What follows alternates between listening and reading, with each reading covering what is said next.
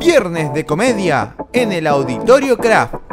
Vení a compartir nuestras noches de humor. A las 20.30 horas, Circuito de Comedia nos trae su Open Mic. Cinco comediantes diferentes cada viernes que vienen a probar sus nuevos chistes. Y a las 22 horas, Tibio Stand Up. Humor en mitad de la grieta.